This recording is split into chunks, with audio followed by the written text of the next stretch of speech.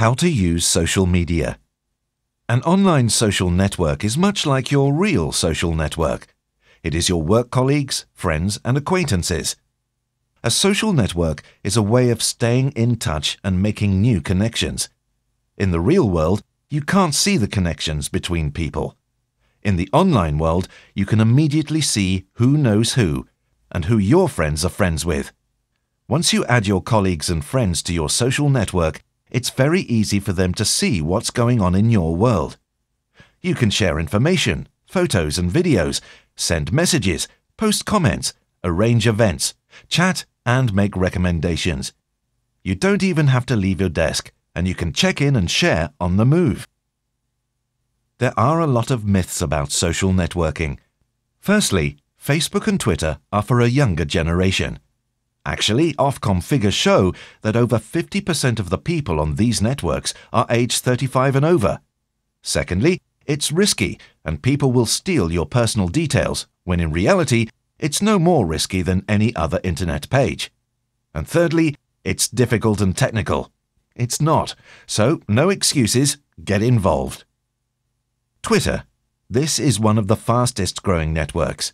You follow people you know or in whom you're interested. They follow you. You exchange brief text only messages.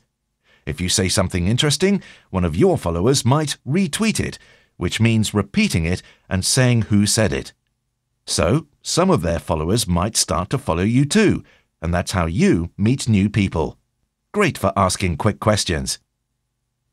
Facebook.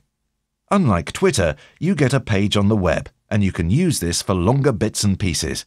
You can upload pictures, videos, play games, whatever you want to do. There are Facebook applications for reviewing books and films, areas for private messages, and for more open discussions. This can really be your place on the internet if you want it to be. LinkedIn, a bit like Facebook for business. This is a network for contacting and keeping in touch with work colleagues. You may only contact people who are a friend of a friend, or a friend of a friend of a friend, and so forth. We use this tool to find the next rising stars in Centrica Energy. Yammer. Yammer is your way to connect with your Centrica colleagues. Centrica Energy uses the platform to help employees communicate with one another across the business.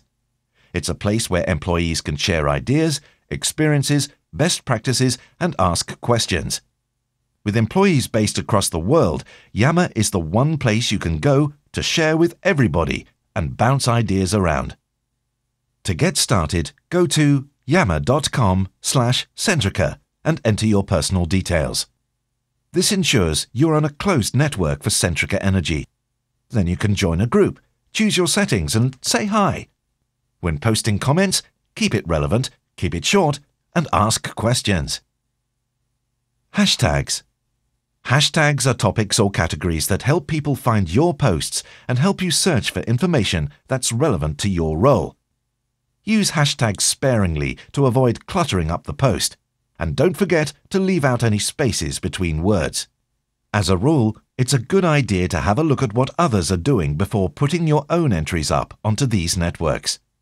But once you're in the swing of it, they can be a great additional resource for finding things out.